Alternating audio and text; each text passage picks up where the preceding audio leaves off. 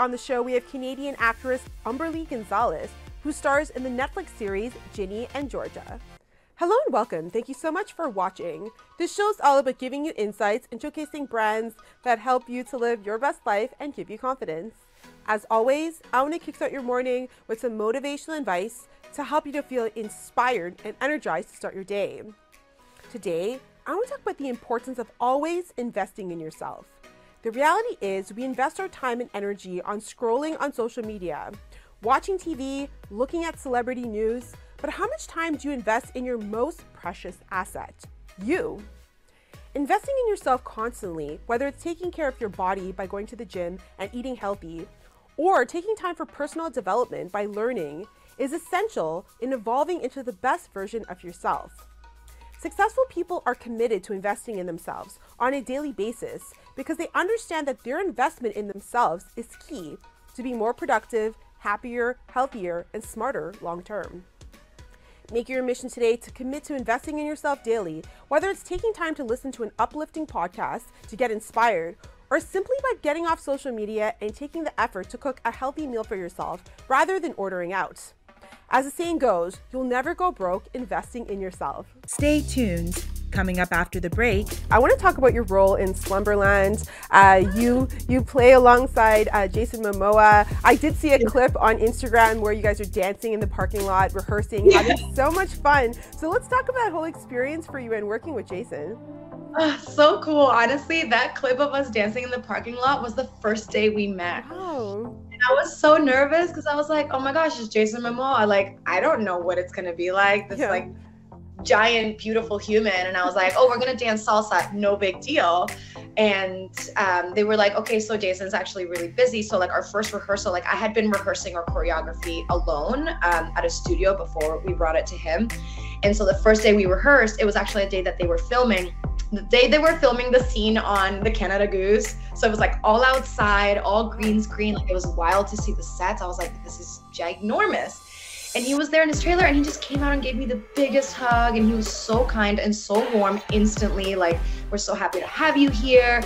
And we were able to like show him the choreography and we practiced it. And that's the video that our choreographer, uh, Melissa Mitro, uh, took of us. And I was like, I can't wait to post this because, like, from that to the screen, and how it translated but like honestly he is so down to earth so kind um what i learned from being on that set is that you know he really inspired me that like no matter how big or how many people know you kindness really goes a long way wardrobe provided by H&M. Next on the show, we have Canadian actress Humberly Gonzalez, who starred in breakout roles such as the Netflix series Ginny and Georgia to Slumberland alongside Jason Momoa. Humberly, thank you so much for being on the show today. How are you doing? I'm so excited to be here that definitely just happy to chat about all things acting and the shows and uh, big smiles all around And I love Ginny and Georgia. I actually watched both seasons and I love your character. But before we get into that and all your success, let's talk a little bit about you and when you developed your passion for acting. I know that you got a taste of acting in theater when you were in high school and you also went to the National Theatre School in Montreal. So let's talk about that milestone period in your life. Yeah, I mean, so I started going to high school in Aruba. I did oh, half wow. of grade nine while I was living there. It's the island where I learned English. And I mean, that in itself changed my life because learning a new language opened up so many doors to music, to art, to movies, shows. So halfway through grade nine, it was like literally January 2007, and my family and I emigrated to Canada. And not just Canada, Fort McMurray, Alberta, which I don't know if you know anything about Alberta, but it's really cold. It's really far north. Uh, Fort McMurray itself is a very small town. It's so far north that you see the northern lights every night. And I mean, that in itself was such a culture shock for me to go from a Caribbean culture to living in a yeah. I had never seen snow in my life. I had never felt the cold. It was incredible how life changing that was. But I was so happy because it meant a new beginning for my family and I, more opportunities. And within that opportunity, it meant that I could pursue something that I never thought was possible, which was acting. I mean, I always did it as a hobby. I grew up dancing and singing. In Latin American culture, there's just so much uh, like lively. It, it's it's lively with music and art and dancing. So for me, it was kind of second nature to to perform. I just never thought that I would have the possibility to pursue it professionally and then have it be my full time job. So when I moved to Canada, learning about the fact that people actually went to acting schools like post secondary, it blew my mind. I was like, wait, so you can just like go act all day long? And they're like, yeah. I was like, I yeah. want to do that. And I, I, you know, I did high school theater and community theater in Alberta. And that's really what uh, kind of allowed me the confidence and, and pushed me forward to audition for the National Theatre School in Montreal. Um, but that was really the the beginning of something that was more solidified than just a hobby, me singing in my room alone or like performing for my parents' friends. Like yeah. it just became a bit more real that hey, you can actually do this so maybe you should try. And i had a lot of people be like hey you're you're super talented. I think you have a shot. Like you should audition for the school. You should do this. You should continue. I just had a lot of people say like don't quit. You shouldn't just leave this. And that meant a lot to me because I don't know. I mean, I didn't grow up with that mentality. I thought I had to like be a doctor and an engineer like my dad. But instead, I had so much support around me, even from my parents, encouraging me to follow my artistry and my passion. So that was life changing for me, honestly. Yeah. That was a big aha moment of like, wait, if they believe in me, maybe I should believe in me too and, and go for it. Mm-hmm. I totally understand that mindset. My dad is an engineer as well. there you go. You know, I'm like immigrants, people of color, like yeah, have a real job. But I don't know. There was something about when we moved that my dad was like, I want you to be happy and and do something that none of us could have ever done growing up. And that meant a lot to me, you know, to have their support and their belief in me. And my dad came to every little show and he would cry every single time. And they're they're just so lovely because they were like, we just want to see you like shine. And I was like, okay, I'll do it. what was your first major audition that you remember and how did you prepare for it? Oh man. Okay, so you know, at the start of a career, nothing is just as like perfect and simple. I actually used to be quite like a nervous and anxious actor because I had never really auditioned before mm-hmm. and it was that was so new to me. Theater is what was my training, but I never really had any um any uh, professional like or training, I guess, in film. It was only when I moved to Canada and then I got my first agent that I started auditioning for film and like putting myself on self tape, even like mm-hmm. setting up the, the light, the phone, the tripod. I was like, this is so foreign to me. I'm just used to like an audience and a script and rehearsal. Um, but I'm not gonna lie, uh, I actually auditioned for Riverdale for Veronica. And I was so nervous though. I was so not ready for this. I got like pretty far into that process, but I definitely psyched myself out and like completely choked. Like I just remember feeling so overwhelmed because that could have been life changing. I mean, Camila Mendes, who ended up uh, getting the role, we were kind of like in the same path, you know, neither of us had done anything major um, since we got that audition. So, like, you can see her career trajectory and like mine, which is also very different, still successful, but not at that level. And looking back, I'm, I'm almost grateful that mm. it, it wasn't just that, that I didn't just start off with a major show, that I didn't have the experience to showcase my best chops, I guess. Like yeah. I learned so much from like starting small and like taking bigger bites and bigger bites and bigger bites as I went along. But oh man, auditioning for me was hard. Like I showed up and I freaking owned it, but man, the nerves and the anxiety ate me up inside. Like there were times that I was like, "Do I need to go to the bathroom and throw up?" yeah.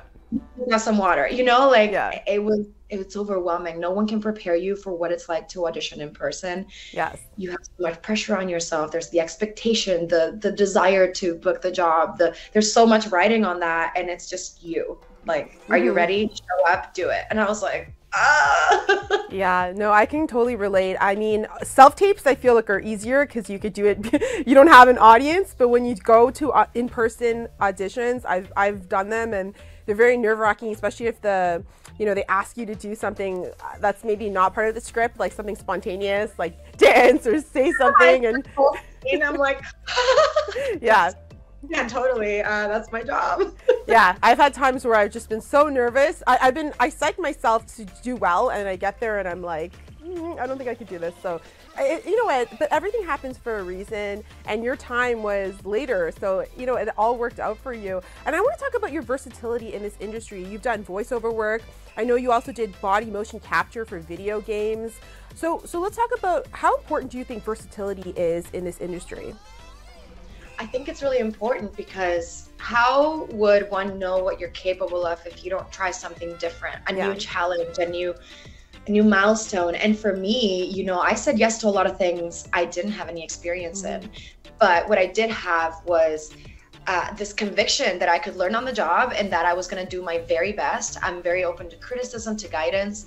And so when the different kinds of jobs came around, I was just like, heck yes, like let's go for it. I mean, I'm, I wasn't even nervous in the way that I didn't think I was capable. It was just, uh, you know, maybe it was going to take a little longer, or maybe they weren't going to be impatient with me if I didn't get it right away. But I never encountered that. If anything, I had a lot of people be very supportive. And um, I literally learned so much of what I know now on the job. And the only way that you can do that is by people taking a chance on you. And there were a lot of people who did take a chance on me. Because even if I showed up and I faked it till I made it, um, I, I still applied myself so much. I tried to learn as much as possible, as quick as possible. I took it very seriously. And so the versatility comes from my curiosity to learn about it. I mean, motion capture was something I wanted to do from the very beginning.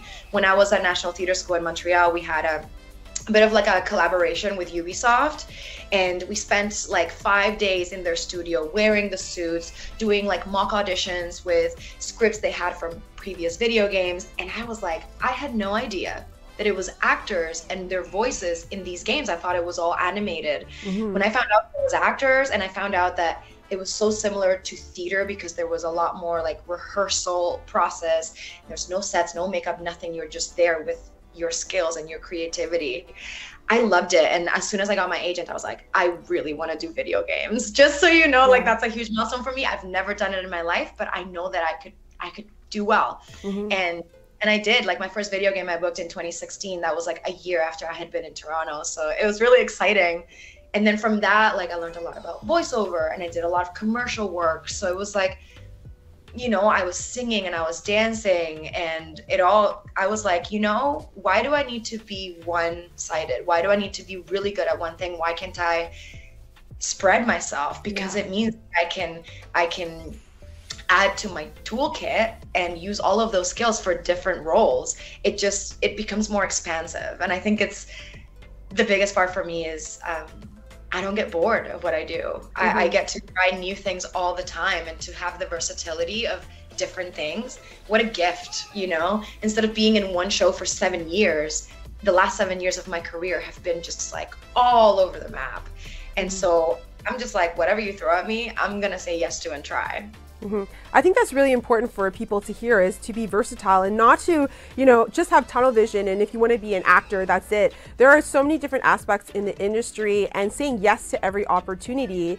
leads you to bigger things in the future. I know even for me, I took voiceover work, I do commercials, and it led me to different opportunities. So I like that you said yes because I think that's really important because it leads you to where you want to go eventually, right? It's not a straight line. So I, it I really, isn't career is so non-linear. Mm-hmm. I mean, there are steps that you can take forward that there's maybe like a bit of a roadmap, but there's no guarantee that that's going to be the success yeah. story.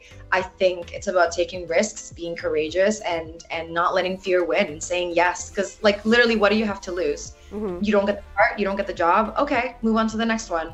Yeah. Um, yeah. I love that. No means next opportunity. That's what I think. When I get a no, I'm oh, I like, love that. Yes. Yeah. When someone says no, I'm like, I'm too determined to take that as an answer, so I'm going to yes. just keep trying. And I, I want to talk about some of your first roles. I know some of your first roles were Killer High and The Dark, which is quite different from the roles you have now on Ginny and Georgia and even on Slumberland. So let's talk about how was it playing these darker roles for you? I'm curious you know what? Like Killer High, even though it was a horror movie, it was also comedic.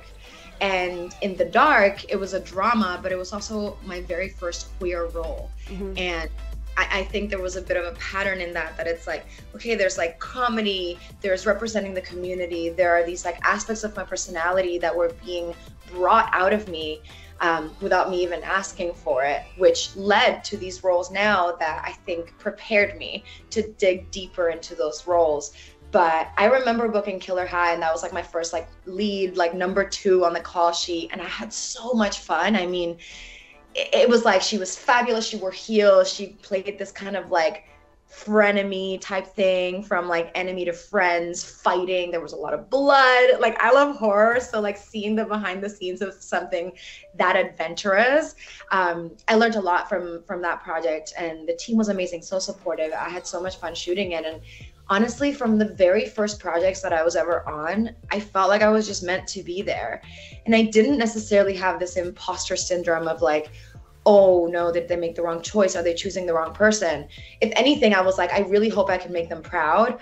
And in turn, that shines a light on me. Like I'm doing my best, and hopefully that's good enough for them.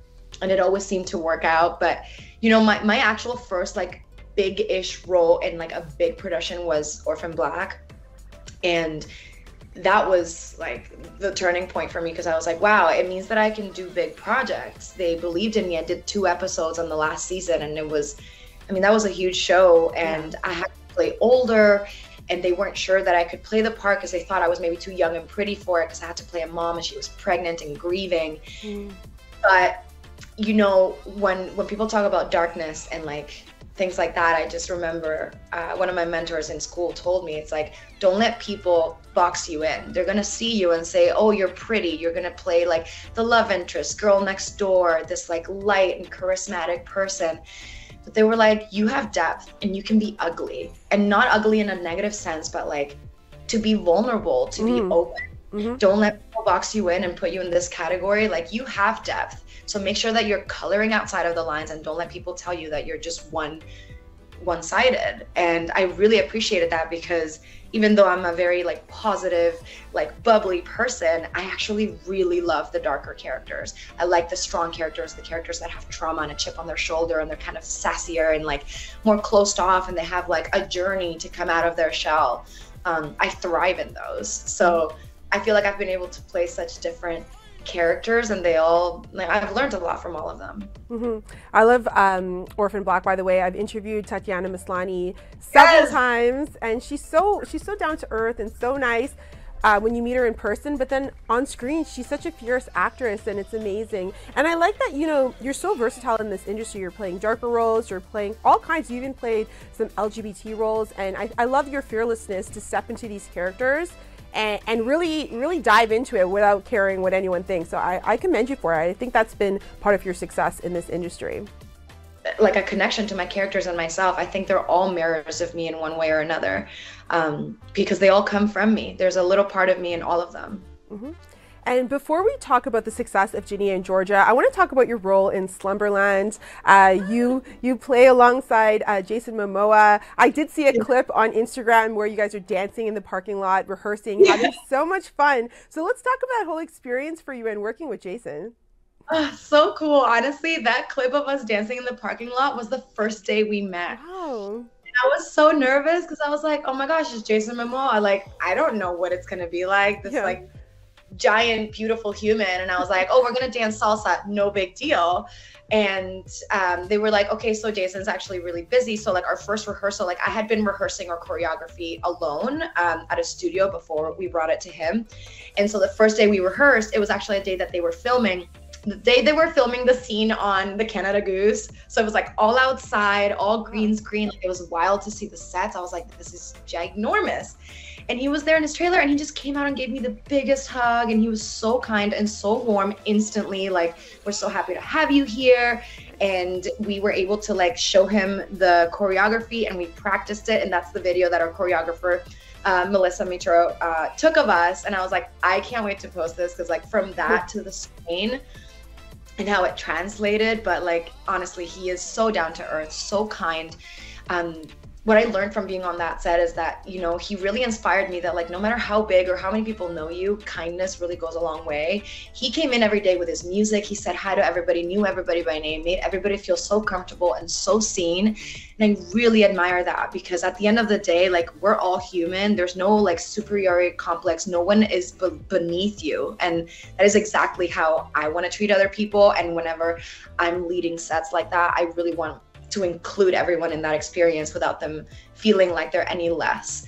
and he made everyone feel that way including me who you know we just had that one moment of like two days of literally shooting this dance scene and other rehearsals but you know he was so generous with his time and his words and i really appreciated that Mm-hmm. I think that's so important to be authentic and kind no matter what. I've interviewed so many different celebrities, and the ones that stick out in my mind are the ones that were really nice, really humble, down to earth, talk to all of the media, even though they're as big as they are. Um, and it really sticks with you when someone has that kindness and they're such big actors or actresses um, and they have, you know, they're so humble. So I think that's really important. So I like that you said that about him. and fast forward, let's talk about your role on the Netflix show Ginny and Georgia as Sophie. Tell us a little bit about your character and also could we possibly see Sophie back on season three? Gosh, what a role. Like, honestly, this came into my life and like it was so fast. Like the audition was like the same night I got it, the same night I taped it, the same night that I sent it away, and like I forgot about it. And when it came back, I honestly like we don't get to read scripts. All I got was like two tiny scenes. I didn't get much on like who the character was, what her journey in the show would have been. It, I thought it was gonna be like only a couple episodes, and that's that. Like I literally had no idea that the show would have this much of an impact and that it was going to be this good. I mean, I I love being in it, but if I wasn't in it, I would be just a bigger fan. Like the writing, the themes, like it's just amazing. Um, and I never know if Sophie's gonna come back or not. I had no idea what her storyline was gonna be in like in season two.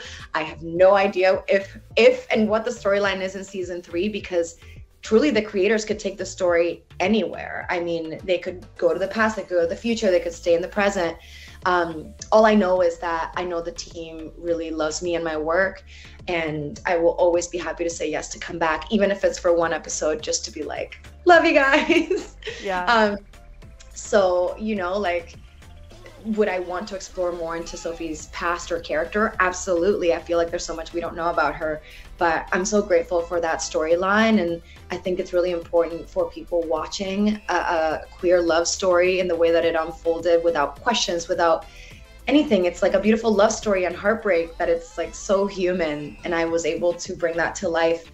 And it was very healing for me too. I was just like really so present within that. And like, I love that it gets to just exist forever. Mm-hmm. And you guys were really united as a cast. I saw little clips of you guys all having fun and dancing, and and you know we had Nikki Roumel on the show last week, and she was so excited to know that you were going to be on the show this week, and it's great to see all the support. You guys support each other.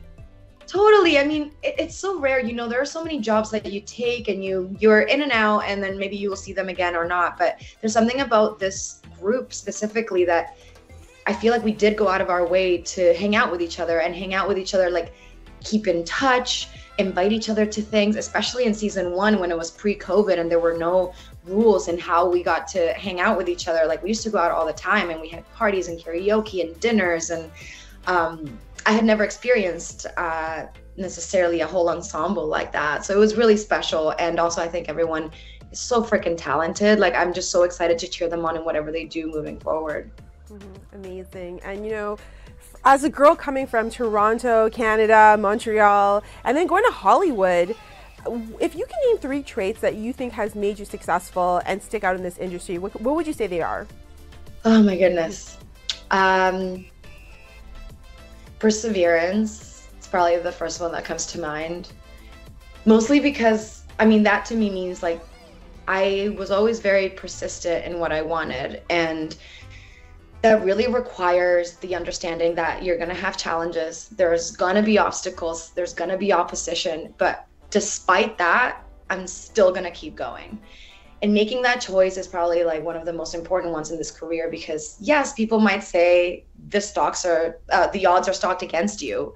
Um, you know, it, it's like one in a million that you're going to make it or, you know, make it to Hollywood and be this thing. But like in acting, like I feel like if it's your passion, you have to go for it, regardless of fame or not. It's not about that. It's like if you get to do what you love and you get to pay your bills or some of your bills, or at least have it as a side gig, like I think it's still worth it. I feel so grateful that it became my full time job and I, I found as much success that I did. My conviction, like I was so persistent in it. Like once I knew that this career was a possibility, there was just no looking back for me. I went full in. Like I literally didn't put any eggs in any other basket. They're all in this career. And so I had to be persistent. So perseverance and that despite challenges is a big one for me. Um, uh, I guess I would say my individuality, like my autonomy, uh, that's something I learned like halfway through the past like it's been like 10 years for me in a way like in this industry since i started professionally and i think autonomy is a is a big one because yes it's like making decisions for yourself like self-governing but not just that is like allowing myself the freedom to be myself mm-hmm. without judgment without comparison without thinking like oh i'm doing this for somebody else like i needed to learn how to validate myself mm-hmm. so that i'm not looking for external uh, like reassurance because it's really hard in this industry to look at everybody else and not be like, wow, why are they succeeding or like why I'm not getting that. The second I realized that like me, like my uniqueness is when it's my superpower in this. And I remember very specifically, it was after I graduated from the Canadian Film Center, like back in 2018. That program changed me because it gave me autonomy. It gave me the ability to be like, I do not need everybody else to tell me that I'm good enough. I can do that for myself. And I found a lot of self worth. And that allowed me to gain so much confidence that anywhere I walked into, regardless if I was nervous or not, I was always going to bring myself because there's nobody else out there like you. Mm-hmm. The way that I love, the way that I laugh, the way I hate and fight and and all of these qualities that make me me are what's gonna get me those jobs. Because if that job is meant for me and they're looking for a character that has any of those traits, I get to show up authentically as that. So that autonomy like really ties everything in together for me to know not necessarily who you are completely because I don't know that we are ever going to know exactly who we are, but I know what I'm capable of and I know my craft. And that that is what like keeps me going truly i know that no matter if i'm not as prepared or not the right person i could be so myself and be wrong for the part but they can never take that away from me because it's me so that's a big one. And what's yeah. the last one? Um, probably patience. I mean yeah patience. We want so many things. As artists we have dreams. We want so much. And there's no guarantee that we're going to get it in a year in seven years in 10 years in 20 years. But practicing patience in the times where I think I deserve something right now, but it's not coming right in the second. It allows me to be present in my life. And what I mean by that is knowing who I am outside of my career. It's really easy to think that my entire identity um, is just being an actor. I think it, it's all consuming for sure. Being an artist, like, I think you don't go a day without doing something towards your art or, or showing up or whatever it is. But being patient in the times that it's slower or the times that there's transitions or change practicing patience and being present allows me to be grateful for where i am in the journey and therefore i can kind of find like just more peace. And and it's like having faith in the fact that like things will work out and things will come my way because i am aligned with where i'm at right now rather than desperately chasing the thing. Like i want to attract it. And the only way i can do that is by being exactly where i am. Just mm-hmm. because i have it doesn't mean that they're not going to come true. It's just that i have no idea when they're going to happen. But if i'm present and aligned with who i am right now and i'm patient with myself then all of those things will lead to each other align like alongside the perseverance and my autonomy and being patient i think that's like the trifecta of like okay i can just be ready for when the opportunity comes I know who I am. I know what I offer. I'm being patient and I will not give up. Here I am. Yeah, I think that's all very insightful and great advice. I love that you said, you know, about like stepping into your authentic self and not having your not having to compare yourself to anyone else. Because I know even for me, um, people always ask me like, "How are you so confident in this industry?" And it's because I don't compare myself to anyone. As you said, you're you being you is your superpower. I know there's no one like me. I know no one can compare in terms of who I am and what I bring. So I love that because when you do step into your into your authentic self, you don't compare yourself to others. Amazing things happen, and you have this self confidence that is so it's it really comes from within and you become unstoppable i almost feel because you're not going to take no for an answer because that your self-worth and validation comes from within so i love that i think that's really powerful advice and it's it's easy to say, but it takes a little bit of work, right, to develop. 100%. Don't get me wrong. You see me as I stand here as this confident woman because I have done so much work to get here. At the start, yeah, I was a mess. I, I didn't think that I had what it took. I'm like a queer ESL immigrant Latina. Like I never saw myself represented on screen the way that that I wanted to show up. You know, how how could I know if I had I was even going to be given a shot to try to be the lead in something or to to literally share my story.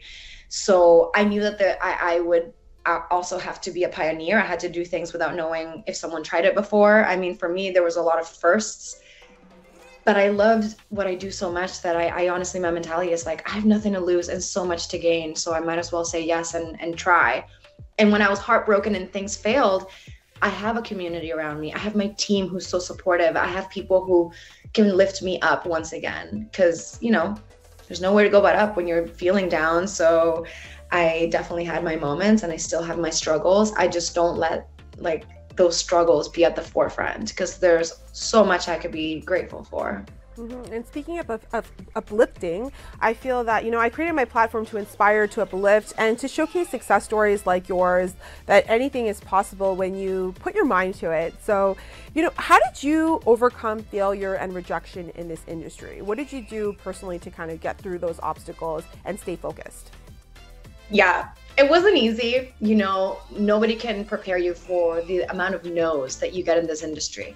And so I had to really change my mentality because it isn't that you're being rejected. You're just not the right person for that part. Out of the hundreds of auditions, you might book one or two. And we audition a lot as actors if you're lucky. And what a gift to audition, to be being said yes to even through that process because there's so many people who get submitted and they still don't get auditions. So I feel very grateful that I've gotten the chance to put myself out there. And what helped me, honestly, like my team, my first agent here in Canada, she was so hands on with me. I'm not gonna lie, I definitely have showed up crying to her office, thinking that I was gonna be the girl who was pinned, who got called back, who was always second choice, but never the one chosen. Because I went through a period of that and I literally showed up crying, being like, this is excruciating because I want it so bad. And like, they hate me.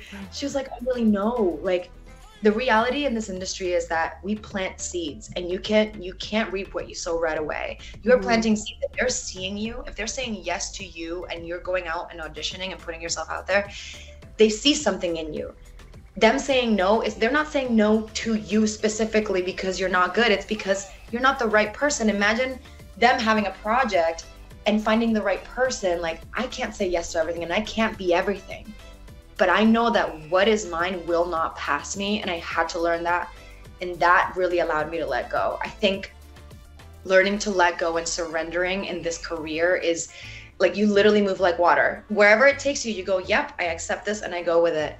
Um, there's been parts that I wanted that I thought I was so perfect for and I lost out on. And I didn't let that, like, I didn't let that allow myself to attack myself because I knew that is so beyond me. There are things out of my control um, we're emotional, we are vulnerable, we're human. So, of course, we're going to take things personally. But I'm really, really trying to not do that because I wouldn't want to be a part of something I'm not right for. And I, at the end, like, that's really what helps me. I have to remember that there are so many people out there that deserve an opportunity and they can't all be mine.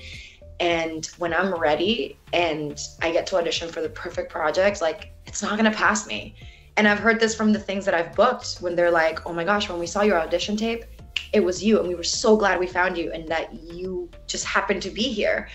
And like, that's so comforting to me that I'm like, wow, like everything that I've done so far has been so curated. I have said no to a lot of things too, and there's power in that. My manager will always say that. It's like you bet on yourself, and there's just as much power in saying no and saying yes because you're cur- curating your career. And I need to be aligned with what I play and the stories that I'm putting out and the the stereotypes that I'm fighting against as a Latina woman, the just the themes that I want to be a part of. So to to have some like say in that is really great now, but at the beginning, yeah, it was really hard. I I just kind of said, you know, I'm making space for what's mine.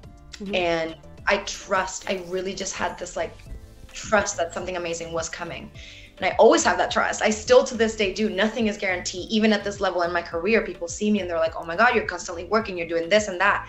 They don't know the actual struggles behind closed doors. Uh, to to keep growing in this career, you have to bet on yourself a lot and you have to really like be so specific about the projects you say yes and no to, and they get more challenging as you grow.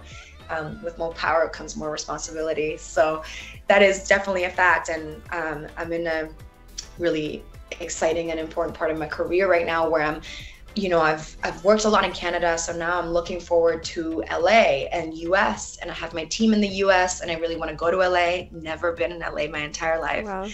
believe it or not so there are things that I'm moving and I'm growing but I'm so grateful that I got my experience here in Canada because if I had left any earlier I wouldn't have been ready and I think again patience comes in we can't have it all now but I just want to feel really ready and confident in what I can offer. And that's when the yeses come in. When you're aligned with yourself, it's like you're you're attracting it, you know? So you have to yeah, it, it's it's inward. You go inward. When you have rejection, you go inward and you say, I am worthy of this and I'm not gonna give up. Mm-hmm. And I that's what I told myself every time. Mm-hmm. I like that you said bet on yourself. My the intro of my show today is about investing in yourself and the importance of that. And I also like the fact that you know you shared your struggles. I always like to ask anyone that's on my show about the struggles and how they overcame obstacles because I think that's so important for people to hear, especially our audience looking for inspiration because when they hear that and they see people on the big screen, they understand that, you know, how much obstacles they had to get to go through to actually get where they are. And I think that's really important so that it motivates them when they get to know that they're going to brush it off and keep going. So I love to hear that, you know. hundreds and hundreds and hundreds of no's. Yeah. Like don't let, you know, the success is one part of it, but the amount of auditions that actors have to do so much work taking out time from your other jobs or other lives. I mean when i started out i had like five different jobs and i was like trying to to hold it all together while also giving like 100% of myself to something that i didn't even know if it was going to lead anywhere. But mm-hmm. the betting on yourself is a big one because at the end of the day I, I still think it's worth it because yeah. it's what I love. And there's no way I'm going to lead my entire life without trying and, and doing what I love. Like, I know I'm a performer at heart and I want to inspire other people to follow their passion too. Because it is possible. Not easy. No one literally said it was easy. People say this. I'm like, I didn't say that. I just said that once I saw that there was a possibility that I could do this, I just took it. Yeah. And that what you do with that possibility is up to you. Absolutely. It's not easy, but it's worth it. That's the main thing. Yeah. It will be yeah. worth it it will pay off. And Humberly, what are you currently working on? What are your current projects? Ah! Okay, so I actually uh, I was in Europe last year for a few months filming a Sony Pictures movie. Um, we don't have a trailer or anything yet, but Deadline did announce it. It's called Horoscope. Um, it was an incredible experience. My first international project, my first Sony Pictures like big studio picture movie. Uh, so it was really exciting. Huge challenges. I learned so much from that. And I've been working on another project for the better part of a year, but I cannot talk about it because they will come for me.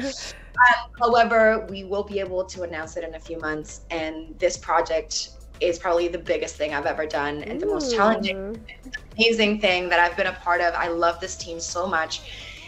I'm having a blast and I cannot wait to share it.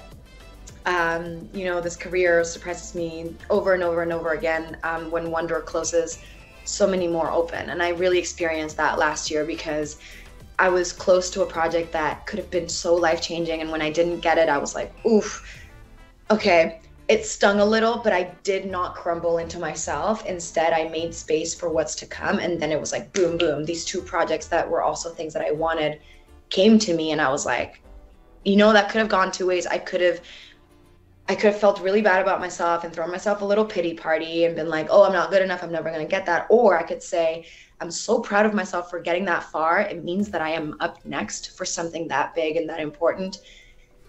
And so I'm going to grieve about it a little bit and then I'm going to wake up the next day and just keep going. And there you go. Like opportunities came again. So, yeah, I, have had a lot of lessons uh, the past few years with COVID and like obviously the challenges through that. But I've been able to work through that and I'm so excited. Like, who knows what's gonna come? Uh, this year, mark my words, I will be in LA. I will get to go there for the first time and see those freaking palm trees and the Hollywood sign. Like, hike up and have a big cry and like that is like one of i mean maybe every actor's dream to to get to la and be able to like have a team there and feel supported there and that's definitely the next part of my journey i recently just got my visa to be able to work there so like, Oh. Like what i'm working towards is mostly that i am so laser focused on what is next bigger projects bigger challenges but feeling so supported i'm so grateful for my team and my community around me i feel like um, when you surround yourself with good people who truly support you and love you that's when you become unstoppable too Mhm. like there's so, absolutely. so much you can do for yourself but like the people who truly see you and and just like cheer you on without jealousy without that threat like Mm. it's so unvaluable and i'm so glad that i have that now i didn't always have that so definitely like the biggest advice is like yes choosing to go into this career but also surround yourself with good people who really believe in you Absolutely. Humberly, thank you so much for being on the show today. Congratulations on all your success. Not only are you a great actress, but you're also so insightful. And I love that. You brought a lot of insight into this interview as well. So thank you. And I love everything you're doing and keep up the amazing work. There's going to be amazing big things for you. oh yes manifesting all of it good vibes thank you so much Tag TV is available on Roku, Amazon Fire TV, Apple and Android TVs, as well as on Apple and Android phones. Watch us live through YouTube and Facebook.